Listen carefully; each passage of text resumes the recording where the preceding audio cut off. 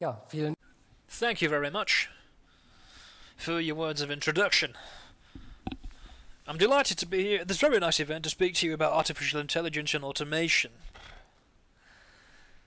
Usually I'm speaking to customers and having quite technical discussions, but this will also form part of this discussion because I want to tell you that um, all of us need to move into different worlds in the future because artificial intelligence is something which will affect everybody. Topic is artificial intelligence and automation. Quite a short topic, but I could make it even shorter. I could have just written automation. Because what you need to understand is that artificial intelligence is essentially a method. It is simply a method to allow you to achieve something, to automate something, to automate a process. Therefore, it's not something in itself, it is a tool that you can use. A tool that allows you to automate processes, software, or physical machines. I'd also like to test out the wonderful sound system in this room, and what I have brought for you here is a video to show you what Beckhoff automation does. So you can understand what it is we do with Beckhoff automation.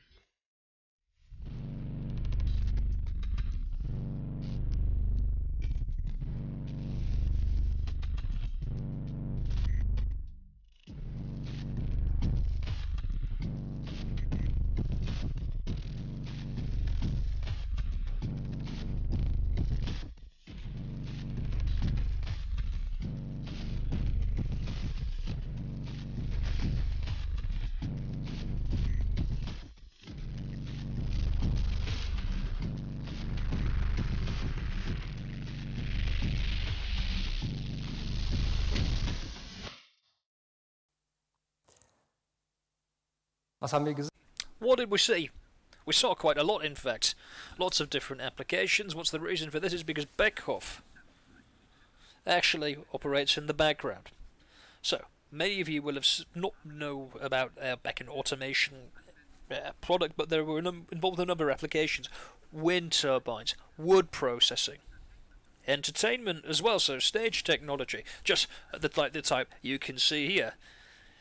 Anything which needs to be enabled must be must be controlled by something, and this is where Beckhoff comes into the play. We are a manufacturer of control systems, motors, robots,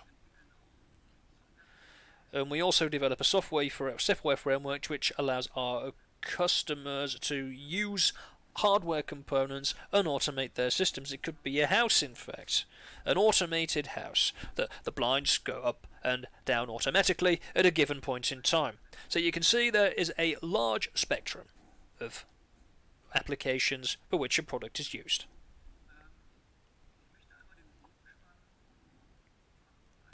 I'd now like to talk about why automation is so important and why it's the key point of a sustainable economy. So automation is the key enabler which allows us to strike a balance between commercial economic challenges, a growing population with the rising level of prosperity, but we also have limited resources available.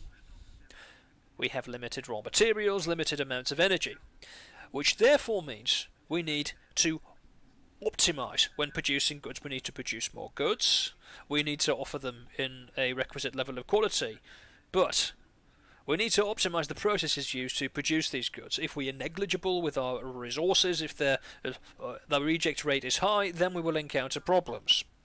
Which means, essentially, you, you balance, you're striking a balance between conserving resources and increasing productivity. Another key point which you can see at the bottom is driving innovation. So the question is, how exactly do you do this? What I'd like to do is take a very simple example. Do you think that Albert Einstein would have developed the theory of relativity if 80% of his time had been spent in the field trying to grow and uh, yield his food? I don't think that would have been the case. So, therefore, what does automation achieve for us? It creates time, it creates flexibility from very um, simple repetitive tasks and allows us to dedicate more time to creative processes, to develop new things. Only if we have the time for this can we continue to make progress. This is why I believe that automation is one of the key pillars which will ensure that we can continue to create innovation. I'd like to take a look back to the year 2019. As we heard from 2020, 2021, AI started playing a role. I'd like to now, Hannover Messe recognised this as well. Industry 4.0 meets AI. This was the keynote theme in 2019. What has happened? This was a perfect fit because at this point in time, automators, Beckhoff, Siemens, appeared at Hannover Messe. They took standardized hardware components and standardized software components and presented them for the shop floor, so for the factories.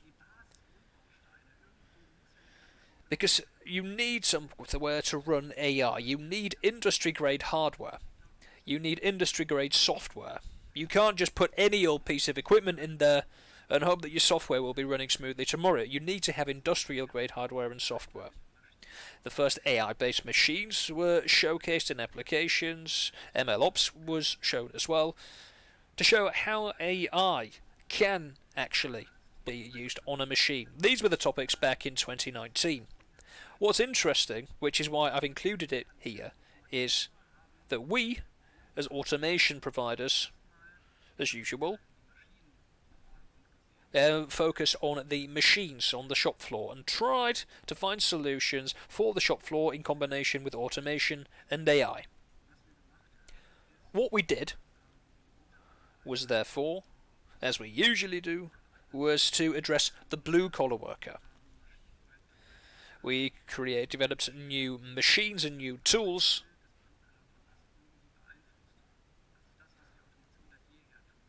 and what we do we produce produce new machines which go into the factory and then the blue collar worker I can't think of a German word for this but never mind it works in English blue collar worker and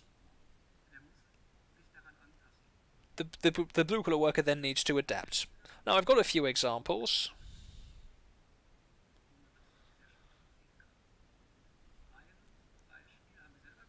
Now there's one example which we constructed ourselves. This is our XPlanar product. These are floating tiles.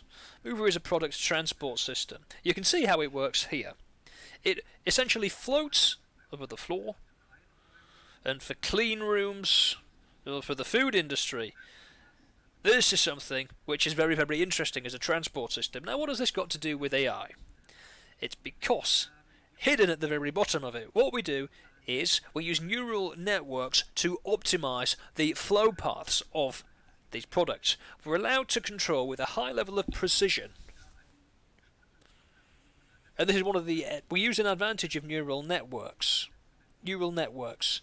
If they are very very small, you can very very efficiently um, compute them. So what you can do is see how quickly these neural networks can calculate on the tiles, and the speed has the advantage is that the, you can speed up the loop and allows you to achieve a very very high level of precision. Now when we speak about AI, we always think about yeah, large chips, large graphics cards, etc. But there are some other more other much smaller applications for AI, which can also operate in a closed loop with great effectiveness. Another contribution we have is in wind power, because wind power is a very important segment for Beckhoff automation. Approximate from the top of the top 10, well, seven of the top 10 wind turbine producers are our customers. We believe that a large share of them of the wind turbines at the moment use our technology. And what we're trying to do is to speak to our large uh, large customers and help make new developments. We're working with a Chinese turbine producer to address whether we can predict wind patterns, wind direction, wind speed. Is it possible to detect this several meters upstream of the wind turbine and then allow us to adjust the pitch and the direction in which the turbine is facing to optimize the yield. Yeah, because wind turbines, they might not be the most dynamic systems. It takes a bit of time in order to move the turbine in the right direction. As you can see here, we've got a graph which I've bought. An AI model is able to, uh, to, to look at very small amounts of time, but which suffice to able to be able to predict what the wind pattern will be, which allows us to increase the yield by a few few percent, but only due to the software. So this allows customers to generate a greater yield from their turbines, and this is a retrofittable solution. Now in Europe we're active here as well with the projects. We've got the AI for Wind project. Here we're not looking at individual wind turbines, but instead what we're trying to do is look at how different turbines impact each other in a wind farm. The systems are so complex that you can do well you can do physical simulations but they lack precision. It takes a significant amount of time. If you do it based on data with the application of AI methods it's very very quickly allows you to examine the interplay between the different turbines in a wind farm. And when you know what the interplay is what you can do is maybe adjust the position and get 1% less energy from one turbine, but then optimize the other three and turn them in the direction which allowed them to increase their yield by 2%, which allows you to maximize the yield from your wind farm.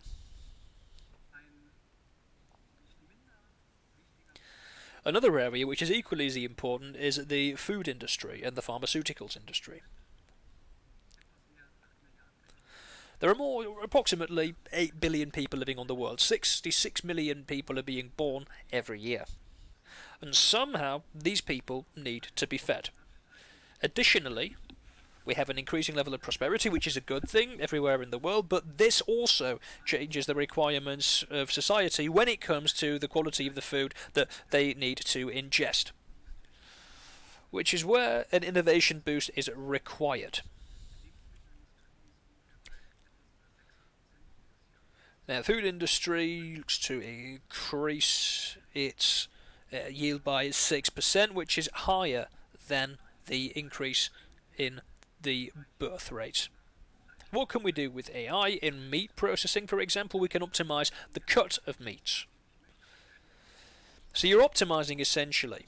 So the product which you cut needs to have a certain size, but there are other parameters you can look at as well. It's extremely complex.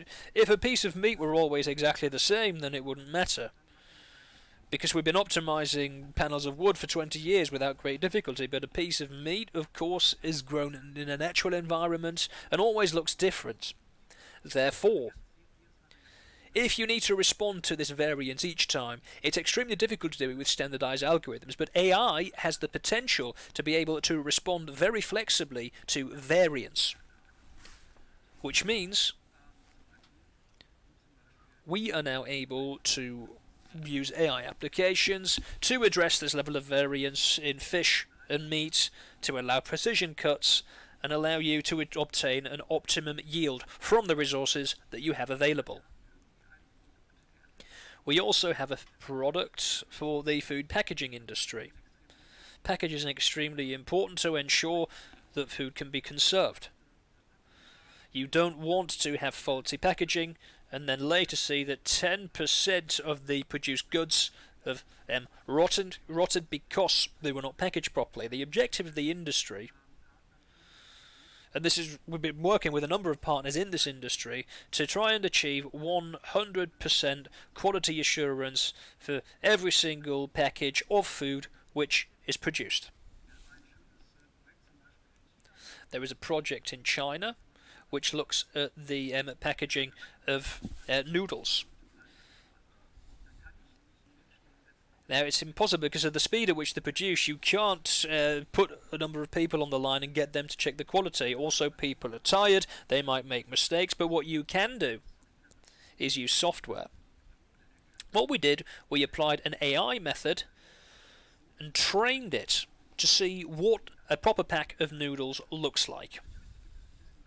Of course, there is a certain degree of left right variance, but the system was trained and was then able, with a high level of reliability, to detect if a package of noodles was not in spec. And if you know that you had a package without with specification, then you're able to trace it back to data which you know from the machine at the point in time when you produced it. And then you can see what the data were like, and you know that you got an incorrect product. And this allows you to then optimize the process. If only when the customer has received the goods do you know that they've got a problem, you will never be able to trace it back to the point in time at which the product was actually produced. With AI, you can. There are other ways of doing this, but it's much, much easier if you can use this AI application. You get the feedback immediately. And verifiability is a key driver of the process. So you close the loop, now you've used the package, you, uh, pack of biscuits, you've got um, a film package, you'll be familiar with these pictures of large landfills, and now what you want to do is close the loop. You would like the packaging of the biscuits to be recycled. Properly, propylene and polyethylene, can you separate them from one another? I don't know the difference between them. If it says it on the packaging, that's all good, but otherwise it can be very, very difficult. And to be honest, I don't want to sit in front of a big pile of film and then be able to distinguish between them. But what we can do is use artificial intelligence to classify different plastics. For example, near infrared is key here you can have a look at the near infrared range and see based on the spectrum whether it's polypropylene or polyethylene. And are then able to sort them and feed them back into a recycled product. So there are a number of different areas where this technology can be applied and is even applied today. We've worked with a number of customers, we're working with a number of different partners, and we want to expand this group of customers and partners. What I'd like to do is speak about Hannover Messe. In 2023, the keynote theme was Industrial Transformation Making a Difference. I don't know whether at this point in time the Hannover Messe knew how right on the mark it was with uh, this keynote theme. Because what's happened is that all of a sudden, an endless uh, number of generative AI applications were showcased. In November, the November before this, ChatGPT was born everybody started playing around with it. And my boss at Beckhoff came to see me in the canteen and he says, We need to do something with this. And I said, Alright then, fair enough. Then let's have a look and see whether we can get something sorted for Hannover Messe. We did, we did showcase um, a product. So, what did we show? Basically, the brother of ChatGPT was industrial grade. It wasn't just us, but also Siemens as well, who showed this. What we did was take ChatGPT, modified it, and developed our own ideas for things which would be important for automation technology. The key point here is that all of a sudden you're leaving the factory and we notice that language models, generative AI, has the potential to massively impact white collar workers, people who sit at a desk in an office wearing a white shirt and thought they were safe from any changes taking place in the factory. New methods are being implemented, but now people in offices, working in offices, notice they need to be flexible as well. When preparing for this presentation, I thought, well, this is something which isn't really that much to do with me, but the relationship between automation and sustainability. And I thought, okay, let's ask ChatGPT what it thinks about this. I entered this into ChatGPT and noticed there were some strange comments made there, but some of the ideas were very, very good, and we could maybe work based on these ideas. So I familiarise myself with new topics in a different way now because you can use the language model to see some good approaches, some not so good approaches, but you can then use the good ones to help you with your work. You always need to scrutinize what ChatGPT tells you. This is the way it is at the moment, but you, ladies and gentlemen, from the press as well, this is something that will affect you as well. In the future, I'll be sitting in my car and I'll ask my voice assistant to summarize the news from the Middle East conflict, and then I will receive a compact version of what's going on. Your job will be to supply the content which the voice model can utilize. This is something which awaits us in future.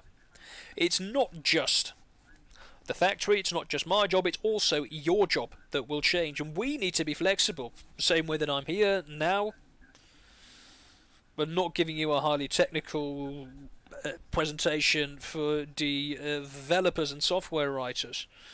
Now, I'm speaking to you about this at a different level, and it's something I very much enjoy doing. I'd like to tell you why I think that generative AI is such a game changer. A very, very important point. The point is here at the top can be used by everybody. Now, if you're able to put text into a computer, then you can use AI. This has never been the case before. If you're able, if you want to use AI, then you need to be an expert in how to use it. But this is not the case anymore. OpenAI says that more than 100 million weekly users use the service, which means that everybody nowadays is able to use generative AI. The reason being that it's the most natural possible interface, and this is what the game changer is.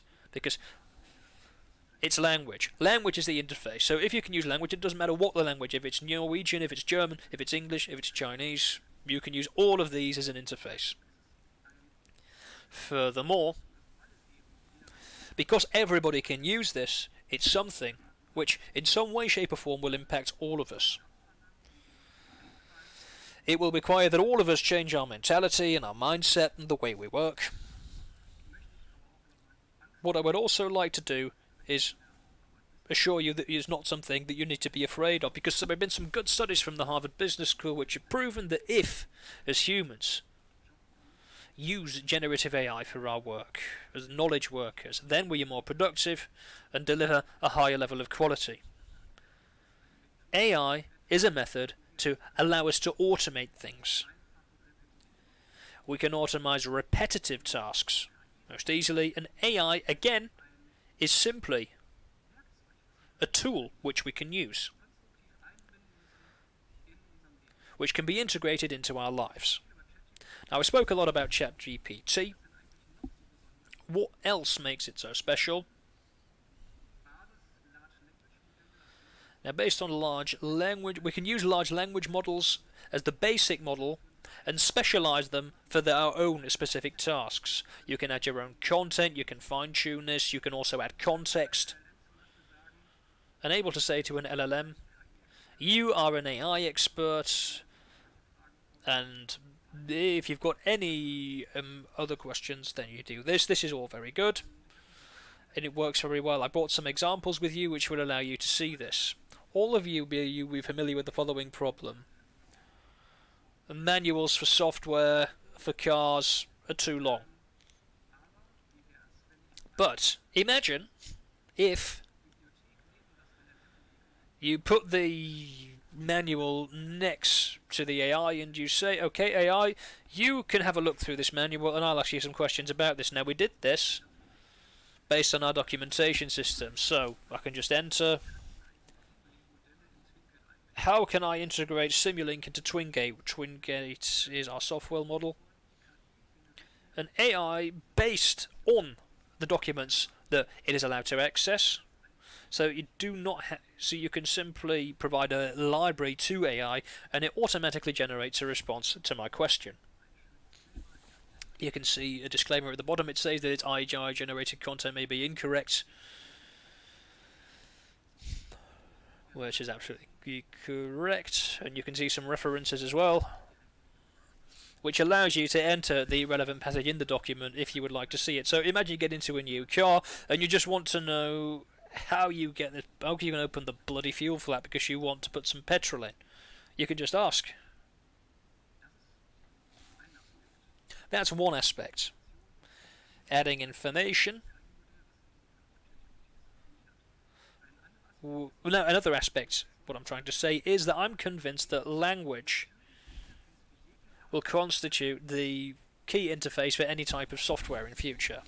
You'll be familiar with Office products, It's always annoying when you're moving from the old style office system where you had the arrows and everything else at the top and then they moved and everything was changed and it's difficult to find the things once there has been an update. But you get used to it.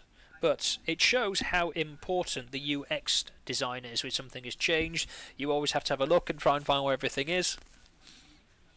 And all you want to do is create what has been in your mind. Now, if we're able to write down what I want and to be able to get precisely that, Microsoft is doing this with the Copilot for Office, and we offer this for TwinCAT, which is an HMI generator. So machine visualization. And here we are simply able to enter what it is what we want, and then it will happen. Here you can see it at the bottom. I put that I want to have a smart home, I want to generate a smart home energy system.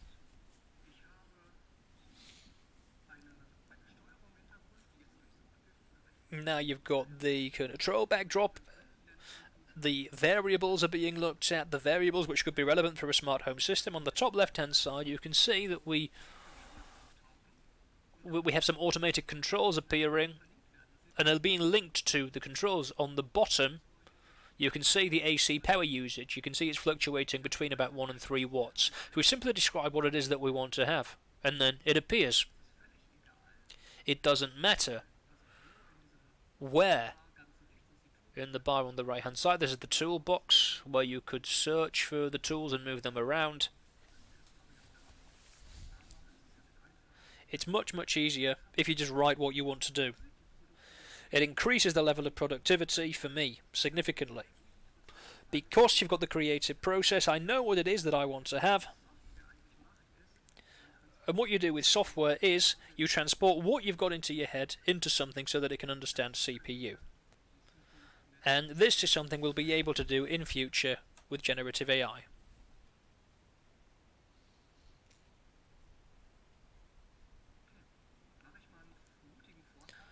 So I'll make a bold forecast. What will we see in 2024? I'm convinced that we'll see a significantly increased amount of hardware, hardware for the shop floor, more computing power, more industrial grade hardware. We're seeing a lot of developments, very specialized AI chips, but also very general AI chips. We will certainly see further democratization of AI methods and tools. We will have tools which can easily be used for special applications an AI specialist will not be needed in order to develop an AI application. It will become much more accessible, and only if this is possible will AI be able to be deployed broadly and have the impact which is anticipated for it. Now for generative AI, I believe that soon there will be a consolidation of all the different LLMs. We're familiar, if you think about the cloud business as well, that almost every company had its own cloud, and then all of them disappeared. I expect the same thing to happen with the LLMs. A lot of the big ones will remain. We will experience a lot when it comes to robustness. The methods which are applied will become more robust. I just showed you this before to show you that it does work. This brings me to the end of my presentation. I'm delighted to have been able to have the opportunity to speak to you today and I look to seeing you all at our trade fair booth. Thank you very much.